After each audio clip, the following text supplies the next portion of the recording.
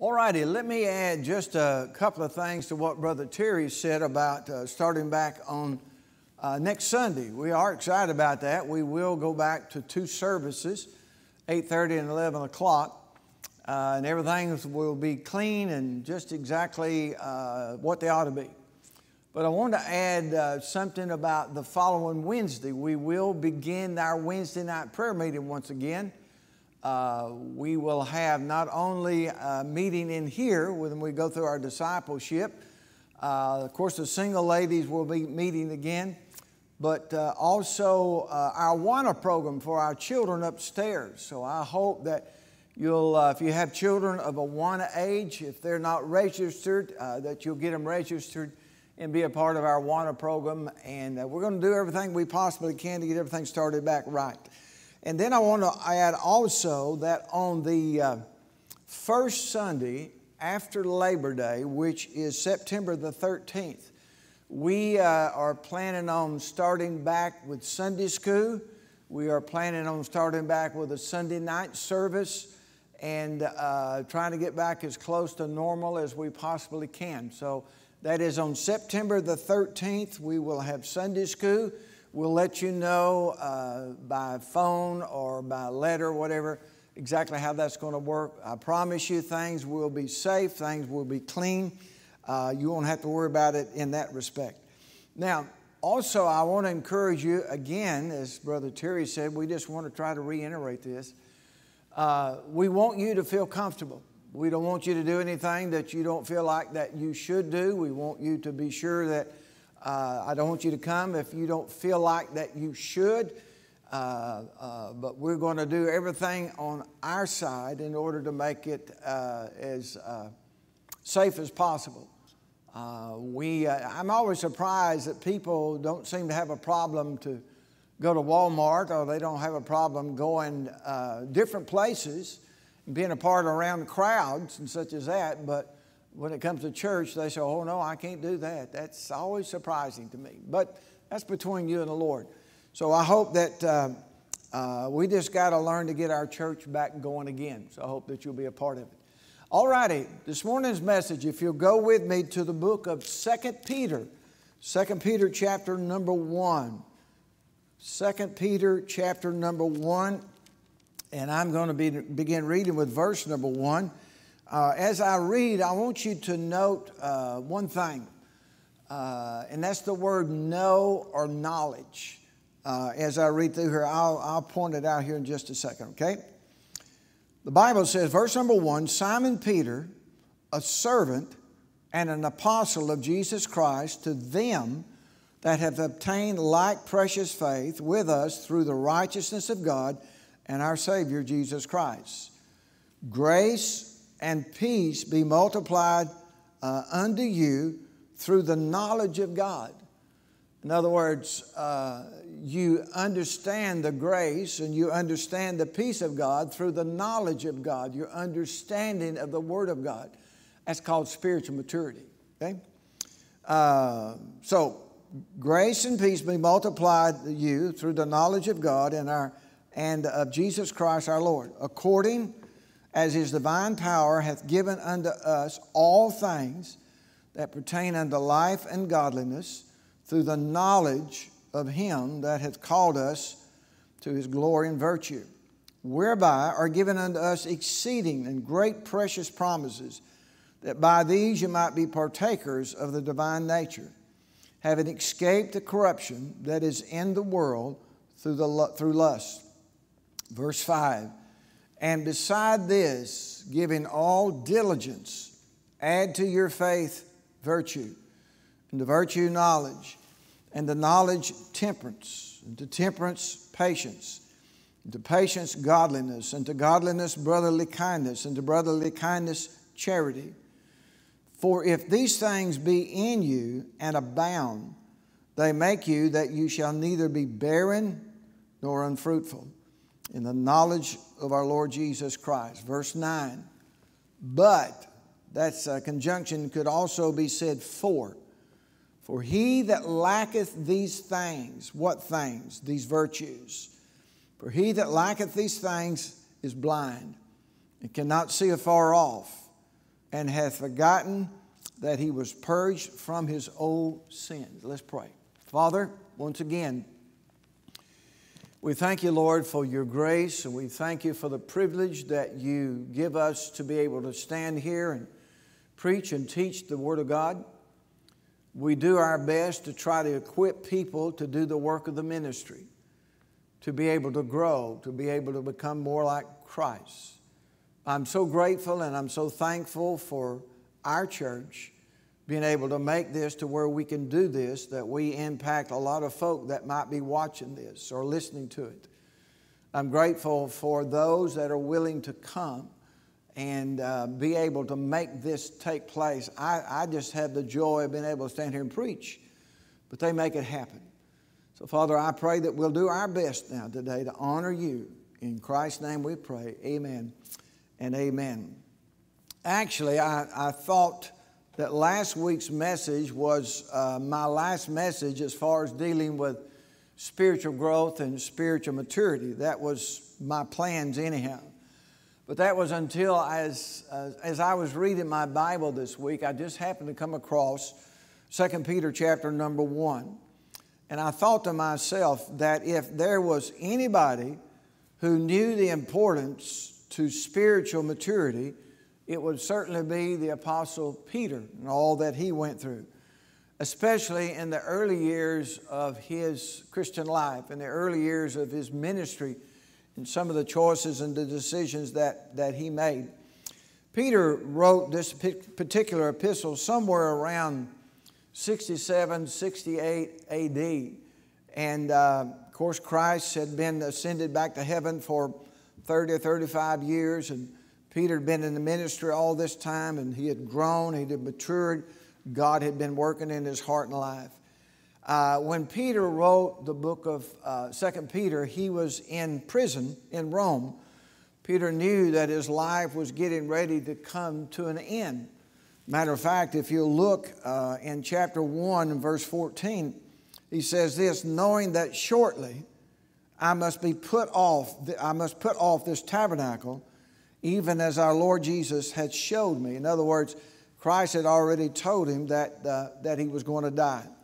So by now, Peter knew the importance in his life of spiritual maturity.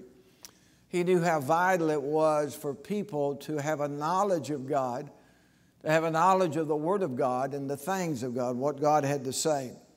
Now, if anybody, I believe, in the, in the early church knew the importance of being alert and, and mature spiritually, it was probably Peter. Uh, he had a tendency in his early years to feel somewhat overconfident when, when danger was near and, and to overlook at some of the warnings that Christ would give them. If you remember in, in his life, he would, he would rush ahead when he should have waited.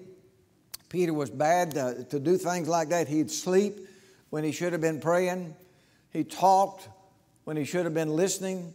Uh, he was fearless, but sometimes Peter was very foolish. I think that's maybe one of the reasons that so many of us relate with Peter in his life. He had, Peter, what I called, he had hoof and mouth disease. He's always putting his foot in his mouth, and, and uh, many of us are uh, much like that.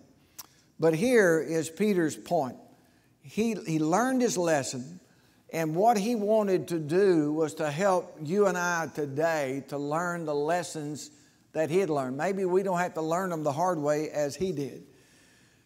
Uh, in Peter's first epistle, Peter emphasized the grace of God. Uh, that's found all the way through uh, 1 Peter. As a matter of fact, if you look at 1 Peter chapter 5 and verse 12, listen to what he says.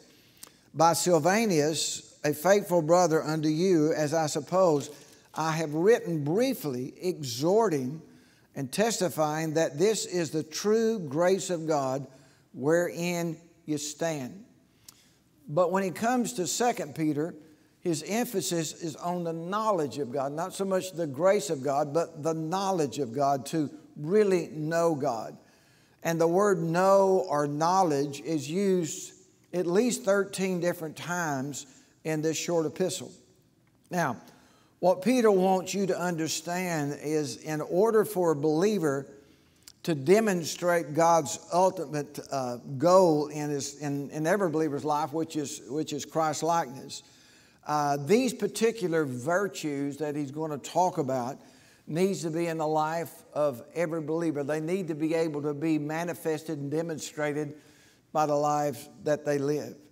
And I'll, um, I'll explain what uh, uh, and define what Peter was talking about by virtues here in just a minute. But if you'll follow along with me on this this morning, I believe it'll be a help to you. But let me show you number one. Okay? First of all, there's the believer's responsibility. Look what he says in verse number five. Chapter 1, verse 5. And beside this, giving all diligence, add to your faith virtue, and to virtue, knowledge. If you'll notice that little phrase, and beside all this, in other words, that simply means this for this very reason. And by Peter using the word, if you'll notice, and also in verse number five, the word giving. And beside this, or in lieu of all this, he says, giving all diligence. The word giving there, it, it brings it to light the question what are believers to be giving? What is, what is our responsibility as far as spiritual maturity is concerned? I think it's vital that you and I both understand that spiritual maturity is our responsibility. It's not God's responsibility. God will put things in place so that we can grow, so that we can mature. God will design things to come into our lives. We know that all things work together for the good. God will design these things in our lives so that we can grow, but it's left up to you and I to grow. It's left up to us to take advantage of the opportunities that God gives us. So he uses that word giving, and then he, he talks about giving what? All diligence. Peter is simply saying that all believers are to be making every effort to grow in the likeness of Christ. That's our responsibility. Now, what is it that he says there that we're to add? Look again at verse number five. And besides this, giving all diligence, add to your faith. Well, what are we to add? What Peter is saying is, which is given in the form of a command, that word add is a command. It's not a suggestion, not something if it's good for you. He said, No. He said, I want you to add these things to your life. The word virtue there is it's a word which means moral excellence. In other words, moral excellence in the life of a believer, that's to be made known by the production of these particular characteristics in our life. He says, these moral excellence that we're getting ready to look at, he says, need to be implemented in your life so that you can make Christ known by the life that you live. And as you and I demonstrate these characteristics in our life, we demonstrate our spiritual maturity.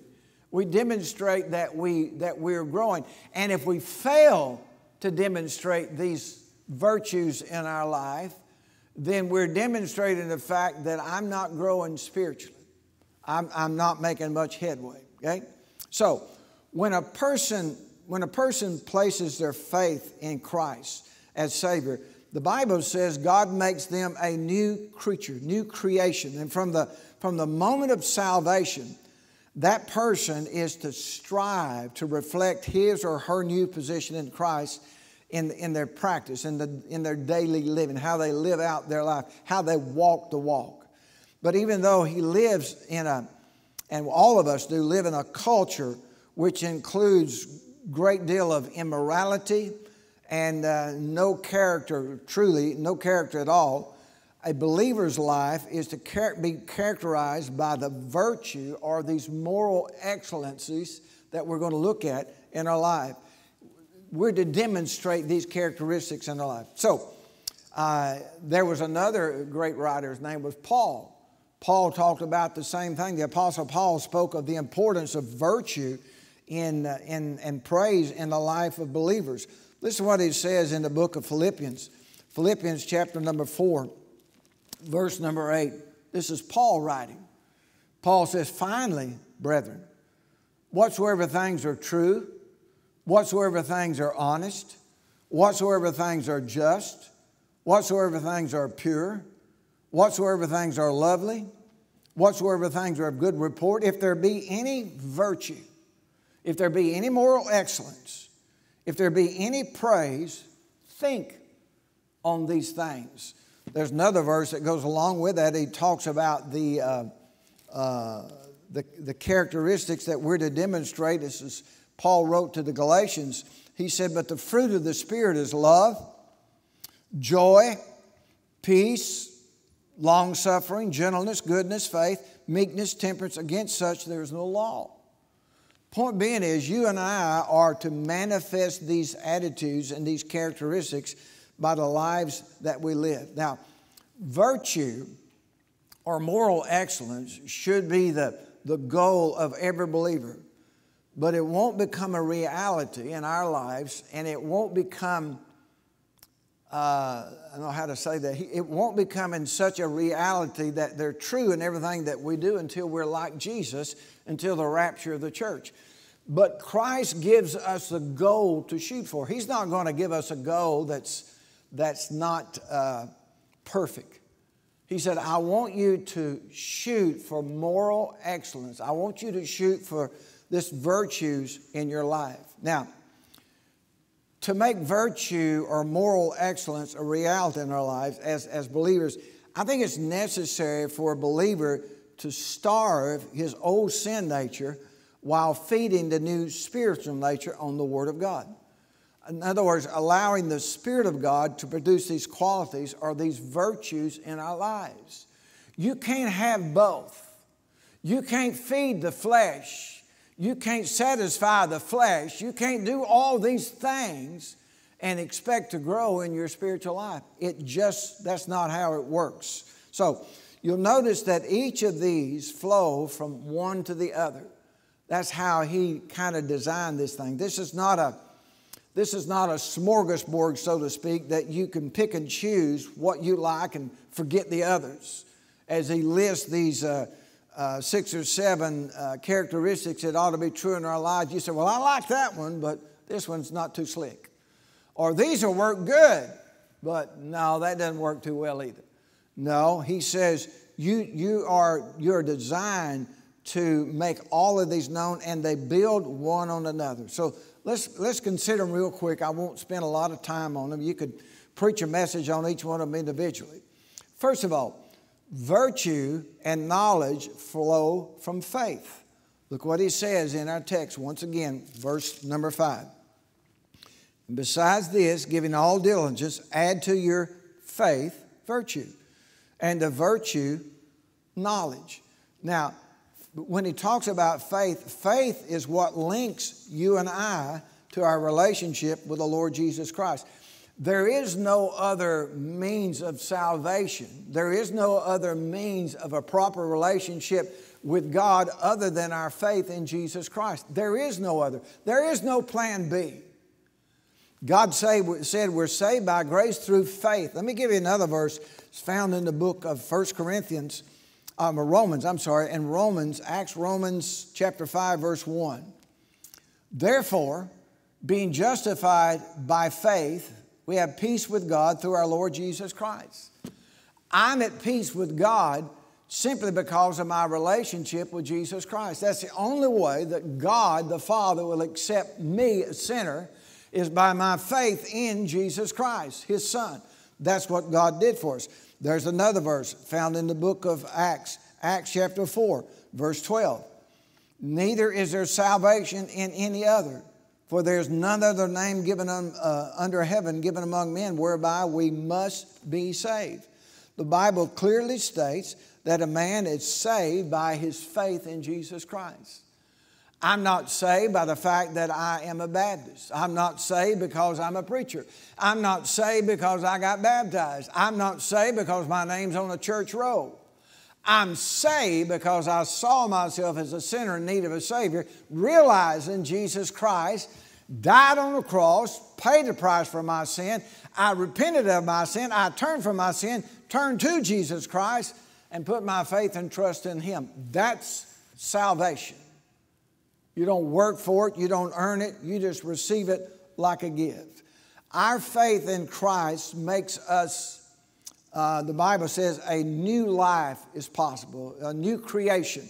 Listen again what the Bible says. He talks about 2 Corinthians chapter 5 verse 17. Therefore, if any man be what? In Christ. If any man be in Christ, he's a new creature, a creation. Old things are passed away. Behold, all things are become new. I became a new creation in Christ Jesus the moment that I placed my faith and trust in Christ. That talks about my position in Christ, not my practice, my position. The point being is the moment that I put my faith and my trust in Jesus Christ, God the Father looked down at me. I was placed in Jesus Christ. God doesn't see me, God sees Christ. I'm in Christ because I'm in Christ. I'm accepted by God the Father. But I've also got to practice living. In other words, I got to live a life out on this, this earth. Now, I'm going to mess up along the way. I know some of y'all don't, and I just wish y'all be a part of our church. But uh, we've got a church full of sinners saved by grace. And we've got a church full of people that on a regular basis need to confess their sin. The Bible says in 1 John 1 9, if we confess our sins, He, meaning God, is faithful, meaning He'll do it every time, faithfully just, forgive us our sins, and to cleanse us from all unrighteousness. He's talking about after salvation. We get, we get dirty walking through this thing called life in this world. So, uh, my position in Christ changed the moment that I put my faith and trust in Christ. But my practice is a work, and I'm, I'm, I'm still working on it. So, he says, number one, add virtue. As I, as I go through this thing called life, as I walk through this thing called life, God's called me to make a difference in the lives of other people. That's what spiritual maturity is all about. So if I'm going to make a difference in somebody's life, if you're going to make a difference in someone's life, if you're going to make a difference in the life of your child, if you're going to make a difference in the life of your grandchild, if you're going to make a difference in the life of your friend, and the list could go on, if you're going to make a difference in the lives of other people, you've got to incorporate these things in your life. He said, that's how we make a difference. First thing he talks about there, he says, add virtue. The word add there is a, uh, is a word which is uh, understood to go in front of each of these characteristics, okay, each of these virtues. Add virtue. And the simplest way to define virtue is to ask this simple question What would Jesus do? You find yourself in some sort of a circumstance and a situation, whatever it may be. You find yourself being tempted, you find yourself being going through a trial, ask yourself, what would Jesus do? That's called virtue, called moral excellence, called being like Christ, is what he's trying to say. The believer who has a heart and a desire to grow and mature spiritually longs to be like Jesus. But let me insert something here for just a second. You need to understand if you've got no heart to be like Jesus Christ. You've got no heart to care about other people. If you've got no heart to be in the house of God and hear the Word of God so that you can incorporate these things in your life, you've got no heart to try to reach other people. You've got no heart. You say, I love my children. Well, try to keep your children out of hell. I love my children. Well, try to get your children to grow up and be like Jesus. We've got, a, we've got a generation of people are more concerned about their children being more like some ball player and playing ball with some school than they are being like Jesus. Sad. Absolutely bona fide sad that people look at life like that when that stuff just not going to last. So, what would Jesus do? Second thing, add knowledge. From this virtue flows a desire to know more about Christ, to know the Word of God. We find ourselves eager and hungry to search the Scriptures as we desire to grow. Listen again what the Bible says Study to show thyself approved unto God, a workman needeth not to be ashamed, rightly dividing the word of truth. You know what the word workman there has the idea of? The workman there has the idea of somebody that you're trying to make a difference in their lives. If you're a husband, you're trying to help make a difference in the life of your wife. If you're a wife, you're trying to make a difference in the life of your husband or your children or your grandchildren or whatever it may be. But we are to be workmen. Let me tell you something, guys. It takes a lot of hard work to be spiritually mature. Anybody can be like the world. Any two before can be like the world. But it takes somebody to choose, and it is a choice to try to strive to be like the Lord Jesus Christ. Third thing, real quick self control and patience flow from knowledge. Look again what our text says. Look at what he says in verse number six. And to knowledge, temperance, and to temperance, patience, and to patience, godliness. The word temperance there means to remain, remain, remain under control in times of trials and testing in a way that honors the Lord. All of us go through our times of temptation. It doesn't matter who we are. All of us go through our times of trials in life. We have, we have trials, physical trials, financial trials, marital trials, we have temptations that we deal with on a regular basis. We have the TV that comes into our life. We have the, the computer. Even on the phone nowadays, people are tempted to, to look at things they ought not to look at. He says, add temperance. The word was often used of the, the virtue of one who masters his desires and passions, especially his sensual or sexual passions, and trying to keep them under control. So many lives and marriages nowadays are destroyed because of people giving in to those things. Then he says, add patience. The knowledge of God and, and His Word makes us patient with people, makes us to be long suffering with people. You know, we, we won't allow, when he's talking about this, he says, you're not going to allow little things to get you down because we know that Christ is in control of whatever it is that we might be going through in life. Some of y'all might be right now because of this pandemic, or it may be because of some sort of situation going on at work, or whatever, the, whatever it may be. Some of us sometimes face these circumstances in our lives where, where we need God to give us all the grace and the patience that we can possibly get but God's under control in all that we go through. God's got a design and a plan in your life and my life to get us through these things. Then he says, add godliness. And this is really good. Patience and perseverance is difficult. In difficult times, makes us godly people. Always remember the life of the Lord Jesus Christ and the difficulties that Jesus faced. Think of what Christ, there's, there's not anything that you and I go through in life that Jesus didn't face. Doesn't matter what it may be. And he faced a lot more than you did and I do in the things that he's gone through in his life. Think of all the, the scourging, the crown of thorns, and the cross, and the list could go on and on. Then he goes on and he talks about add kindness. The kindness of Christ makes us the the kind of to other people and forgiving towards other people, good natured towards other people. God wants us to be kind towards people. Let me give you a, a great verse to consider. It's found in the book of uh, Ephesians, Ephesians chapter number 4 and verse 32. Be kind one to another tenderhearted, forgiving one another, even as God for Christ's sake hath forgiven you. If you want to demonstrate Christ likeness, learn to forgive people. You've been forgiven. God knows I've been forgiven. And I thank God for that. I think one of the greatest things found in Scripture is forgiveness.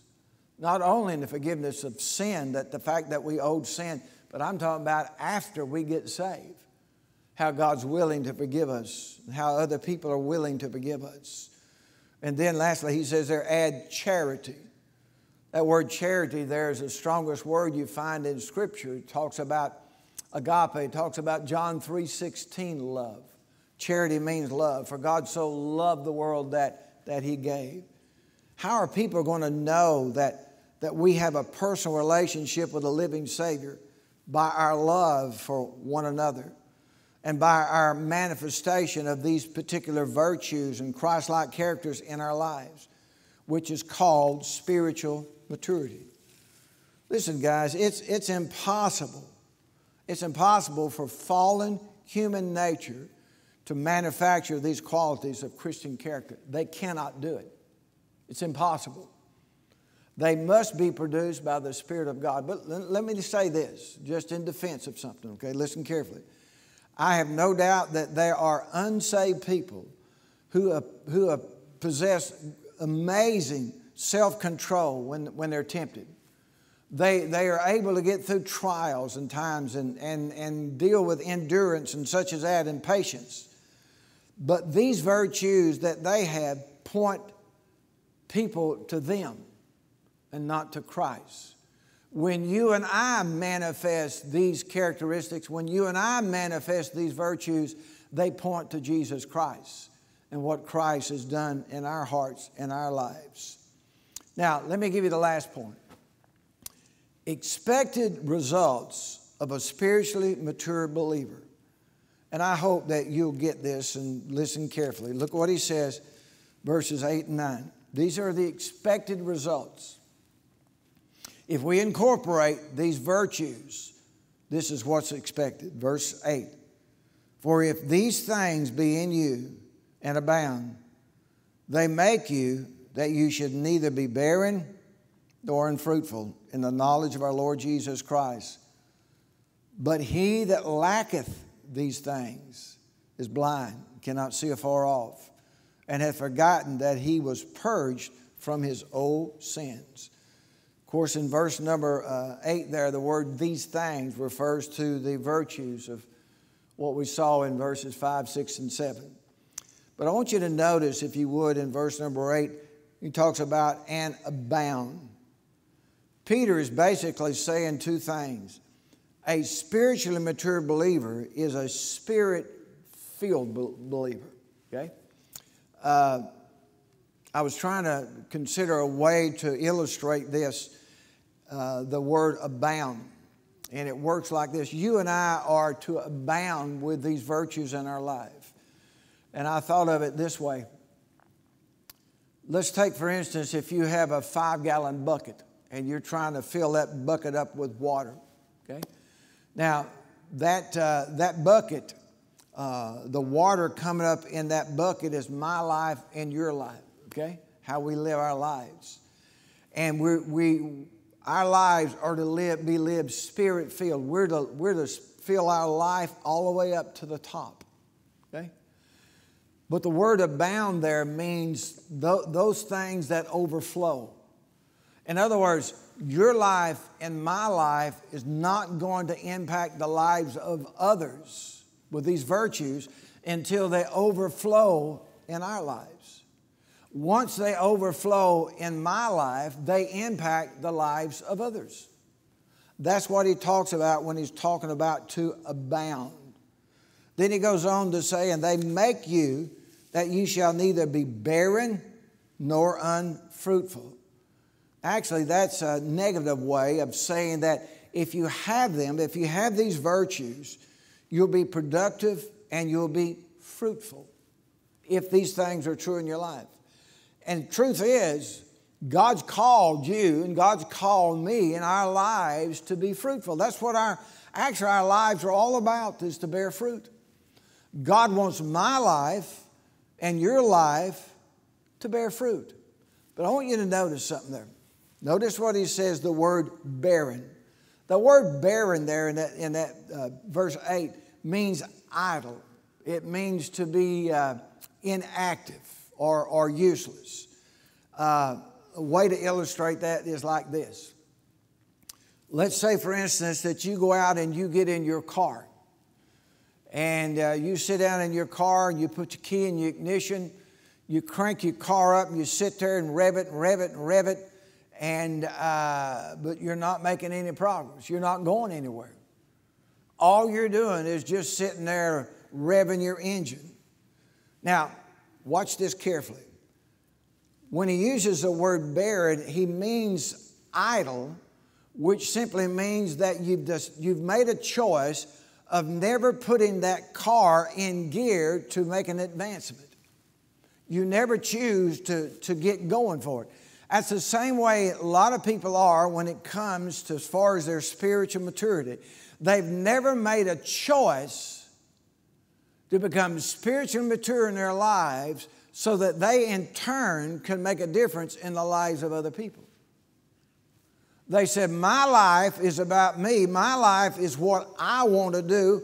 I don't care what anybody else thinks. I'm going to live my life just like I want to. I don't care if I'm fruitful or not, as long as me and mine and my four are happy, that's all that matters. In other words, they're not, they're not concerned with, with being barren. They're not concerned with their life not producing fruit. They don't concern themselves with abounding. Verse 9. I'll wrap this thing up. But he, or for he that lacketh these things, is blind and cannot see afar off, and hath forgotten that he was purged from his old sins.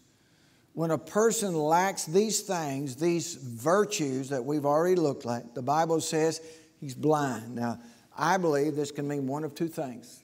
Listen carefully. Satan has blinded him to his need for a personal relationship with Jesus Christ. Listen again what the Bible says in 2 Corinthians chapter number 4 and verse number 4. In whom the God of this world hath blinded the minds of them which believe not, lest the light of the glorious gospel of Christ, who is the image of God, should shine unto them. I'm as convinced as I can be that in churches like New Testament Baptist Church, maybe your church, a lot of churches, doesn't have to be a Baptist church, it's, it's immaterial. A lot of people are convinced that because they're in church, because their name's on a church roll, because they're Baptist or their granny was Baptist or they've been a deacon or whatever the list may be, they've been in a baptistry and they, you know, and the list could go on. They say, I'm, I'm all right. And Satan has blinded them about their relationship with Jesus Christ. Because if they slow down long enough, they can't see the fact that they produce no fruit. There's been no change in their lives since that day they thought they got saved. You say, Do you really believe that's true? I know it's true. I was one of them. I know it's true. My wife was one of them. I wish I had time to share her testimony with you. My wife had, years ago, they used to give out little bars when you would be perfect attendance in Sunday school. You got to, if you, they're all, every 51 Sundays, she had 13 bars, 13 straight years of perfect attendance in Sunday school when she was growing up. If there's anybody exposed to the gospel, she was. My wife didn't get saved until my first year of Bible college because it was then that she realized that she had been blinded by Satan, had never accepted Christ as Savior. She was religious, she was lost. And I'm as convinced as I can be that we have people in our churches exact same way. There's another verse found in 1 Corinthians chapter number 2 and verse 14. Listen to what he says. I think it's important that you, you, you, you get this. But the natural man receiveth not the things of the Spirit of God, for they are foolishness unto him. Neither can he know them because they are spiritually discerned. The natural man, the unsaved man, the things that you and I do in our lives, to them, what we do is foolishness. What we're doing today is foolishness to them. And you know what's so sad? There are people in our churches that think that what we're trying to do here, even during this pandemic of trying to meet again and get church going again, is foolishness to them. You're foolish. You ought to stay home and Go in a cave, stay in a basement. Foolishness to them. Sad. But nonetheless, let me, uh, let me wrap it up with this. Here's my last point. And I think why many people choose not to grow spiritually. They choose not to produce any fruit, spiritual fruit, with their lives. They choose to have no problem sitting idly by while others need to see Christ in their life. Doesn't bother them. It doesn't bother them that, that their child's going to grow up and not have one blessed clue to know how to live a fruitful Christian life. Oh, they'll know how to hit a ball. They'll know how to make a jump shot. They'll know how to, how to flip and flop and all that. They'll know all that. They'll, like a lot of guys, they'll know how to, how to kill a deer. They'll know how to catch a fish. They'll know all those things. They'll invest their lives, years of their lives for that, and not produce any fruit whatsoever for the Lord and expect to stand before God someday and hear Him say, Well done, thou good and faithful servant, ain't going to happen. Let me show you one verse and I'm through. John chapter number 15. John 15. I want you to look with me for just a second. Verse 1. Jesus says, I am the true vine. My Father is the husbandman. Every branch, and the branch is, is supposedly be the believers that's in the vine. Okay? Picture that, okay? Every branch in me that beareth not fruit, he taketh away. You say, well, why would he do that? Because they don't belong there, because they're not saved. If it bears no fruit, when the time comes to stand before God in judgment, you bore no fruit, you had no relationship with Jesus Christ whatsoever because he goes on to say in, in verse number two, and every branch that beareth fruit, he purgeth it, that it may bring forth more fruit. If you study chapter 15 of John, it talks about fruit, more fruit, much fruit. It's all about fruit. About what we produce with our lives. And if the Spirit of God doesn't at time purge you, you know, purging is a good thing in the life of a believer. It's just like a parent at times needs to correct their child so that their child will know how to live their life, so that the child, when they grow up, will live a productive life. If you choose not to correct your child, I've known of parents, we've had parents come through our church. We don't believe in discipline, though the Bible teaches it. No, we, we, don't, we don't believe in discipline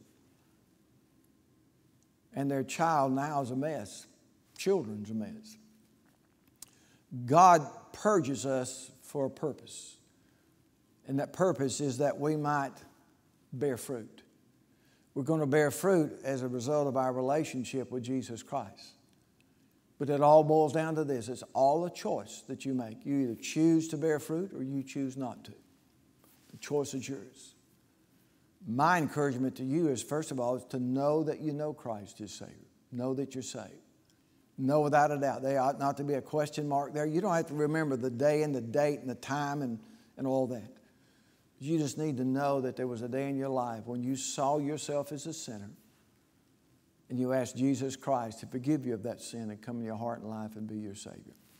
Our Father, I thank you for this time together. I thank you, Lord, for this little series that we've been doing, how important it is in our lives to be spiritually mature. Because it's our life that's going to impact the lives of others. And God, how I pray that we'll understand the importance of that. And if there happens to be a person watching this today or listening that does not know Christ as Savior, or there's the slightest doubt, and if they would mean it with all of their heart, they could say something like this Jesus, I know that I'm a sinner. I'm asking you today to forgive me my sin. Come in my heart, my life. Be my Savior. I'm trusting you and you only to save me. For Christians this morning, or believers who's not producing any fruit, have no desire to produce fruit. God, how I pray you touch their hearts. Help them to see the importance of making an investment with the life that you've given them to live and not to waste it on things that have absolutely no eternal value. In Jesus' name I pray. Amen and amen.